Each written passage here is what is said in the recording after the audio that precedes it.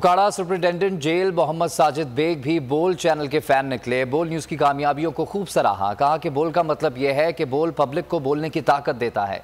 बोल की शानदार रिपोर्टिंग और आउट क्लास कवरेज पर सुप्रिंटेंडेंट जेल ओकाड़ा साजिद बेग ने मजीद क्या कहा, आप भी देखिए। जी सर, बोल चैनल के हवाले से बताइएगा कि वो लोगों को बल्कि पूरे पाकिस्तान और दुनिया में कैसी वो आगाही फ्राहम कर रहा है। और इस हवाले से आप भी बताइए। आ, मैं समझता हूँ जी कि जो मीडिया है या प्रेस है उसको रियासत का चौथा स्तून कहा जाता है और पाकिस्तान में जो तमाम चैनल्स हैं वो भी बड़े अच्छे तरीके के साथ इंसानी हकूक़ के बारे में लोगों को आगाही दे रहे हैं क्रिमिनल जस्टिस सिस्टम के बारे में दे रहे हैं। और बोल का तो नाम ही बोल है।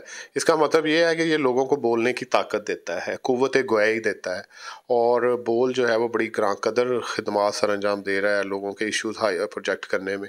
और अगर हमारे हवाले से देखा जाए तो क्रिमिनल जस्टिस सिस्टम के जो इशूज़ हैं, जो लोग इनकाउंटर करते हैं मुख्तलिफ़ ऑर्गन्स को, यानी उनका जो है वो क्रिमिनल जस्टिस के साथ टकराव होता है, जिसमें पुलिस है, अदलिया है और वहाँ जेल खाना जाता है। उसके अलावा प्रोबेशन एंड पेरोल है प्रोसिक्यूशन है तो बोल चैनल जो है, उसने इस पर भी नज़र रखी हुई है और लोगों को क्रिमिनल जस्टिस सिस्टम में क्या हकूक़ हासिल है और उनके हकूक़ की अगर किसी जगह पर वायलेशन हो रही है तो उसको उजागर करने में बोल अपना किरदार बखूबी निभा रहा है।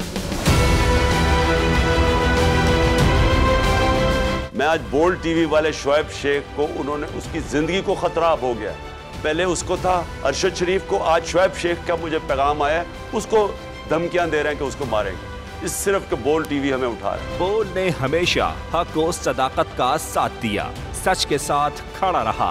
हम हैं मिसाल अब मगर इस हवा से हम डर कर सिमट ही जाएँगे ऐसे भी हमने। बड़ी मुश्किल बड़े बड़े चैलेंजेस सिर्फ़ बोल खड़ा रहा बोल डटा रहा।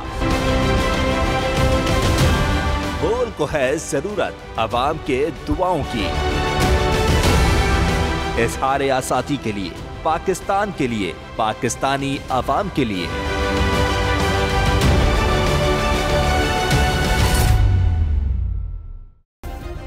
सब्सक्राइब करें और बेल दबाएँ ताकि कोई खबर रह न जाए।